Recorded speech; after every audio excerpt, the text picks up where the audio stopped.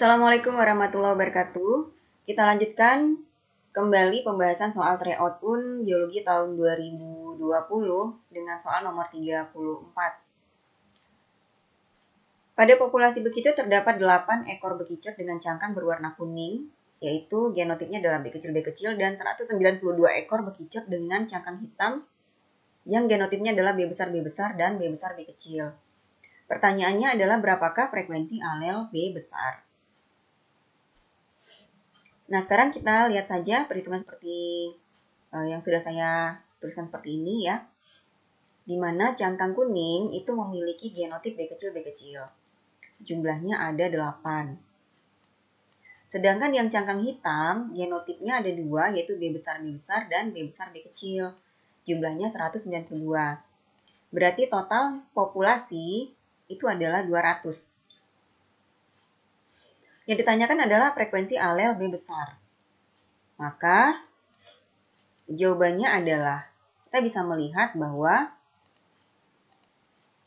B kecil B kecil jumlahnya adalah 8. Ya, frekuensi B kecil B kecil dengan demikian adalah 8 per 200. B kecil B kecil itu sama dengan B kecil kuadrat. Maaf ya, ini harusnya adalah B kecil kuadrat ya. Nah, dengan demikian B kecil saja adalah akar dari 8 per 200. Akar dari 8 per 200 itu sama juga dengan akar 4 per 100. Akar 4 per 100 adalah 2 per 10. Berarti B kecil sama dengan 0,2. Jika B kecil sama dengan 0,2, maka B besar itu adalah 1 dikurang 0,2, maka B besar adalah 0,8.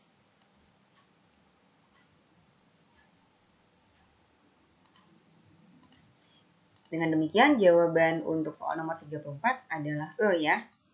Frekuensi dari B besar itu adalah 0,8.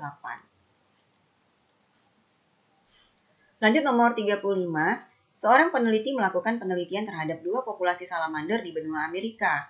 Satu populasi ditemukan berwarna coklat cerah yang hidup di permukaan tanah. Ya, warna coklat hidupnya di permukaan tanah. Sedangkan populasi lain banyak ditemukan di cabang pohon yang warnanya lebih gelap. Jadi cangkangnya lebih gelap dan ditemukan di cabang pohon. Setelah dilakukan persilangan buatan terhadap kedua populasi tersebut ternyata menghasilkan keturunan fertil. Kemungkinan mekanisme spesiasi yang terjadi pada kedua populasi tersebut itu adalah Nah, kita bisa melihat di sini mereka hidupnya di habitat yang berbeda.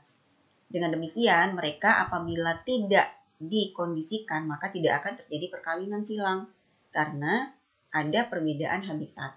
Namanya adalah isolasi habitat.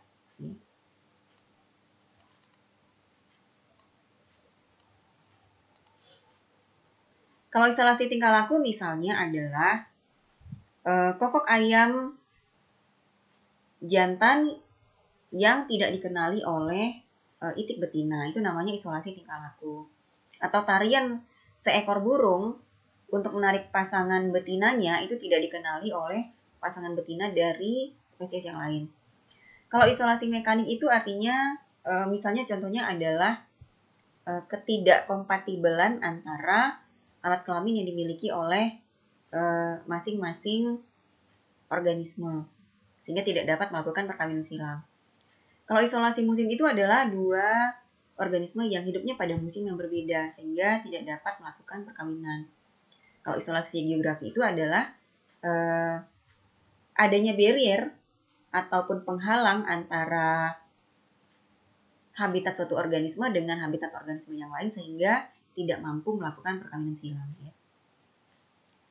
Lanjut nomor 36. Dalam bidang bioteknologi banyak jamur mikro yang dimanfaatkan untuk berbagai bidang melalui proses fermentasi. Misalnya adalah Acetobacter silinum. Masih ingat ya Acetobacter silinum ini adalah bakteri membantu pembuatan e, nata de coco ya. Ini nggak usah dibahas panjang lebar. Jawabannya adalah yang C. Itu produksi dari nata de coco.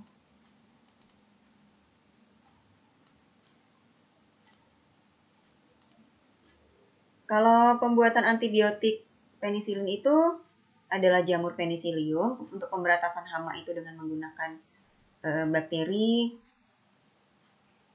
e, Bacillus thuringiensis ya. Kemudian untuk produksi biogas itu menggunakan metanobakterium.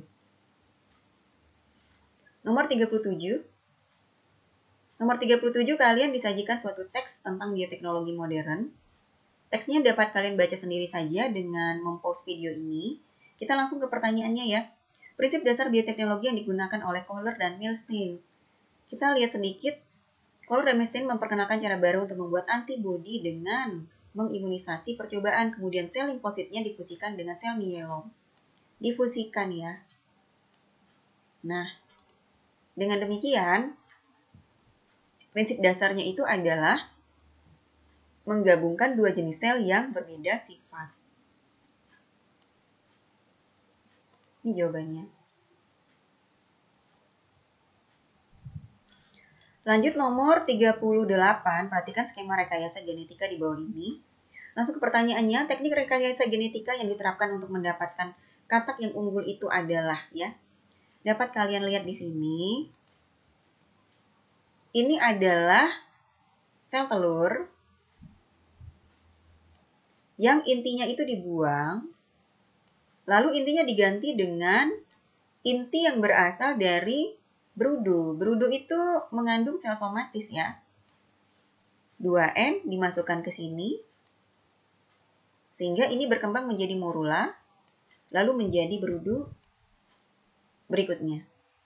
Nah, dengan demikian, teknik rekayasa genetika yang diterapkan itu adalah cloning melalui transplantasi inti, ya, yang C.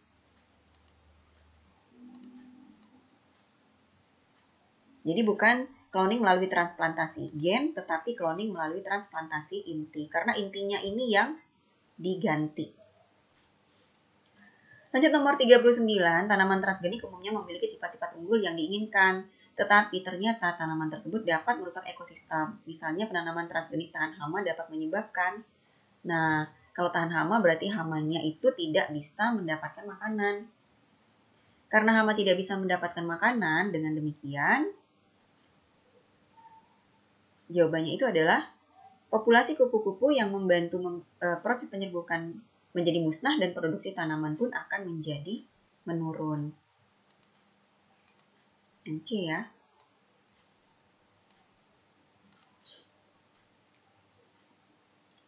Terakhir nomor 40. Perhatikan grafik, grafik pertumbuhan kecambah kacang hijau berikut ya. Kalian bisa melihat yang ini adalah pertumbuhan di tempat gelap ya yang petak Kemudian yang ini adalah pertumbuhan di tempat terang. Berarti kesimpulannya pertumbuhan di tempat terang lebih lambat dibanding dengan pertumbuhan di tempat gelap. Maka kesimpulan dari percobaan ini adalah